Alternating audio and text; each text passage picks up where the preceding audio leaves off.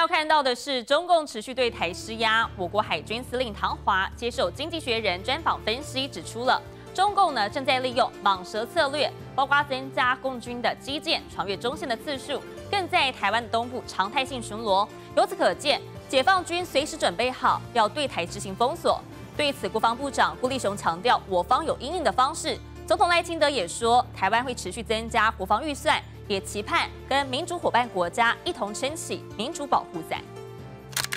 山陀台风才刚在台湾上空消散，共击扰台，固态复萌。十三架次当中，有八架逾越海峡中线。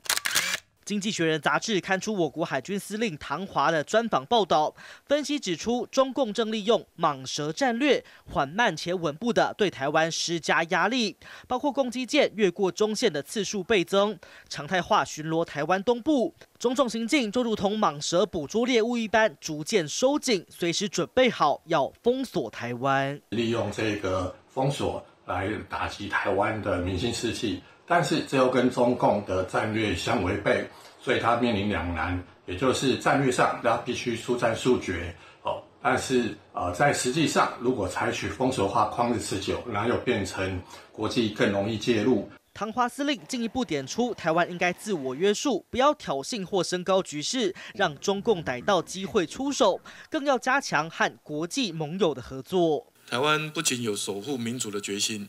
也期盼跟民主伙伴国家共同撑起民主保护伞，免于威权扩张的威胁。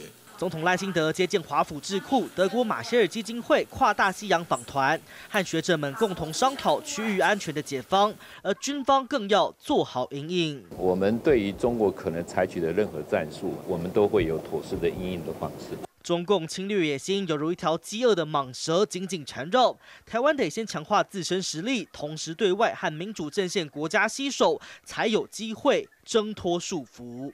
记者林杰杰、肖瑞生台北报道。